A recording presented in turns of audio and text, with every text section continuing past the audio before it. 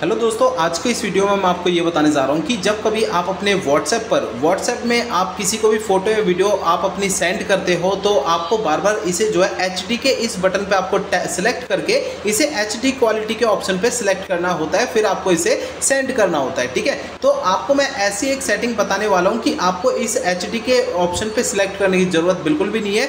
आप आगे से कभी भी किसी को भी फ़ोटो या वीडियो सेंड करेंगे तो वो HD की क्वालिटी में सेंड होगा, ठीक है? तो आज की वीडियो में वीडियो में पूरी जानकारी देने वाला हूँ तो चलिए वीडियो को हम शुरू कर लेते हैं। देखिए दोस्तों, यहाँ पर सबसे पहले तो मैं अपने व्हाट्सएप से बाहर आ जाता हूँ। अब यहाँ पर आपको करना ये है कि आपको अपने व्हाट्सएप को ओपन करना है।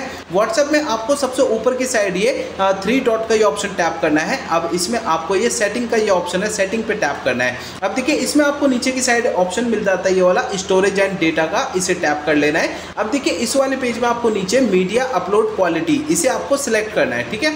अब देखिए, इस वाले पेज में आपको नीचे एच क्वालिटी का ये ऑप्शन है, इसे सिलेक्ट कर लेना है और नीचे सेव का ये बटन सिलेक्ट करना है, ठीक है? तो दोस्तों, आपका ये मीडिया अपलोड क्वालिटी के नीचे एच क्वालिटी लिखा हुआ इस तरीके से आ जाएगा। अब दोस्तों, ये सेटिंग देखिए काम कैसे करेगी। मैंने आपको जो स्टार्टिंग में बताया था कि आपको बार बार एच का बटन आपको ऊपर की साइड में दबाना पड़ता है जब भी आप किसी को फ़ोटो या वीडियो सेंड करते हैं, ठीक है? तो आप ये सेटिंग एक बार जो है एच क्वालिटी में ये सेटिंग आप सेव कर देंगे। तो इससे क्या होगा कि आप आगे से कभी भी किसी को फ़ोटो या वीडियो सेंड करेंगे तो वो एच क्वालिटी में ही जाएगा, ठीक है? तो ये सेटिंग आपको कैसी लगी? इस सेटिंग को आप अपने फ़ोन में ज़रूर यूज़ करके देखेगा और हमारे चैनल को सब्सक्राइब करना बिल्कुल मत भूलिएगा।